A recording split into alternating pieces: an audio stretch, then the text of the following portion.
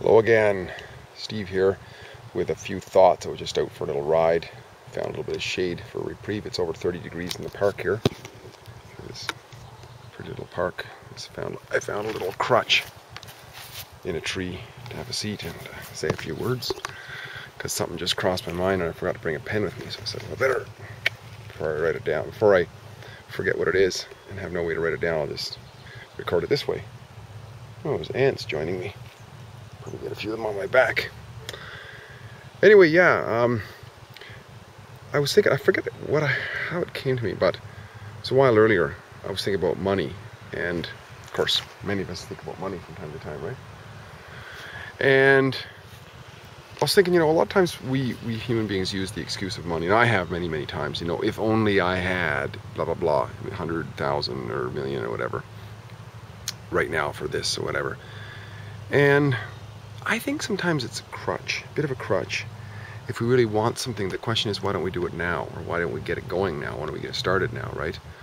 So I know somebody, for example, and her common theme is, I just don't have enough money.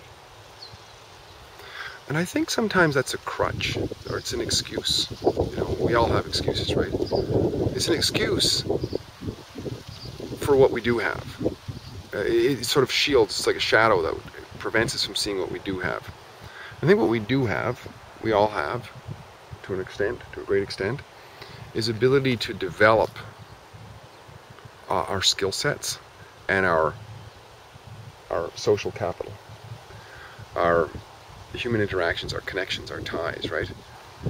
And you know, our skill sets that might be like individual capital and our networks of people who we've done favors for and helped and so on is kind of like our social capital. And in a way, that's kind of like money, I guess, because money, if we think about it, what money is, is a store up of our efforts, right? Unless we've stolen something, of course. But generally speaking, you know, if, if you do, if you come over to my place and you build a deck for me on my back backyard. And then I pay you for that. Then you have a stored equity in what the labor that you've done. It's we call that money right? Well I'm thinking if we were to study and to learn something and practice and develop a skill then what we have within us that ability is like a stored up reservoir of knowledge and capabilities based on what we've done. The same way that we have a store up of cash based on having built the deck, right? And the same goes for building our ne- networks and building our communities and keeping in contact with people and being friends with people and helping people. Because of all those actions, we build up a store of goodwill. In fact, even in business, when a business is sold and they calculate the value of the business, it's the you know the lease rate or the building if it's being sold and the machinery and the stores and everything. And then what they call goodwill. Goodwill is that on average 10 people walk into the building before 10 o'clock in the morning or whatever and buy something.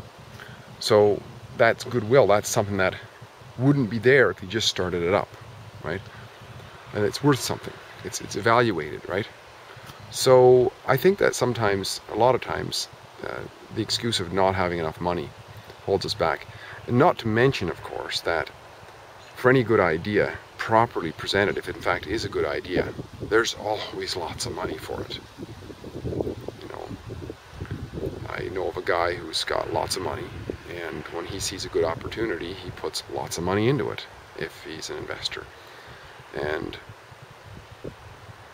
so, you know, a lot of times it seems like money is is like a is a way of shielding us ourselves from our own responsibilities. If we just that's probably why people who win lotteries for the most part don't really change and in a few years lose it all because they haven't developed the skills that would be necessary to acquire that in any other way.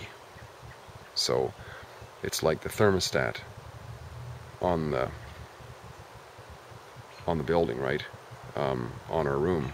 If it's minus 30 outside and the, the temperature is set at 20, it'll be 20 degrees inside. We open the door for a while, it'll go down to minus 20. We close the door again, eventually it'll go back to 20 because that's where that's where the set point is. It'll go back to that. I think the same with those of us who would say, "Oh, I wish I had this money, wish I had this money, wish I had this money."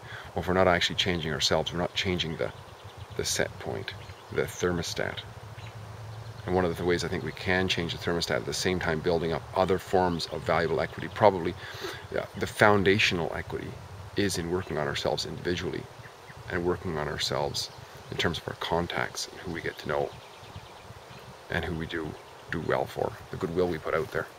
Just some thoughts on uh, improving the quality of our life experiences because I think we can get going with life even though we don't think we have the money for it. Because in reality, we do have the abilities that are required to make that real value, I would think. Great chatting again, and I keep going on my ride here, and uh, we'll talk again soon. Goodbye.